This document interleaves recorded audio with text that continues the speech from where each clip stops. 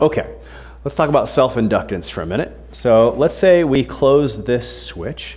At the very instant we close this switch, we are not going to reach our maximum current immediately. Let's just say for a second that this is 12 volts and this is 6 ohms.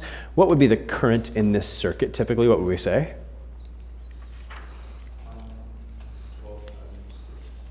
So 12 volts, 6 ohms, delta V equals IR Ohm's law, so we get 2 amps current. Cool, but we don't hit that 2 amps immediately. It actually grows. And it doesn't take very long, but we're going to grow to that 2 amps again, just kind of like we discussed.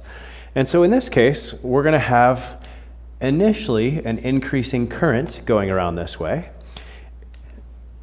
And because we have an increasing current, then the magnetic field created by this current in the, the wire itself is going to cause a changing magnetic field and a changing flux up until we reach that peak value of 2 amps. And so in this case, the wire itself feels its own magnetic field.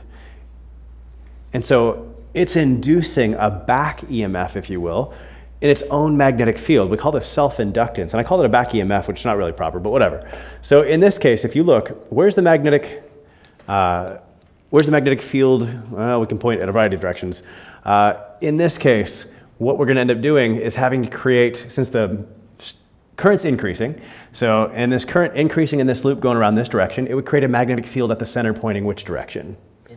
Into the board. So then we're going to induce a current pointing out of the board. And so because this has self-inductance, so what we'll find out an inductor actually does is it actually opposes the rate of change in the current. And so this current wants to get from zero up to two amps the moment we close the switch. So, but due to self-inductance, we're going to oppose that, and it's going to take some time to get there. We don't instantaneously get there. So, and it's actually self-inductance is the reason why we don't instantaneously get there. Chris? So why did you say the um, current goes into the board? So, so here our current's going to travel this direction in the clockwise fashion, right? So, and it would create a magnetic field pointing into the board, oh. right? So, and creating a magnetic field pointing into the board, that's increasing as the current is increasing. That's a change in flux that also points into the board, which would actually, according to Lenz's law, want us to oppose that with a current going the opposite direction. And so in this case, the self-inductance here opposes the current flowing clockwise with counterclockwise, and it still net flows clockwise, it just doesn't instantaneously go up to 2 amps, it builds up to 2 amps. We'll find out in a little bit that, you know, this graph of I versus time would look something like that. And it builds up to 2 amps. And it's just there's self-inductance that's opposing the growth of that current. All right, so if we look at L here, L is again called inductance. So it's not mutual inductance this time, it's just inductance for our self-inductance. And it also again has units of henries. We saw what a henry is and stuff like this. And if you look at kind of rearranging this a little bit, you can solve for L, and I've done that on your handout here, and that's where you get your definition of inductance.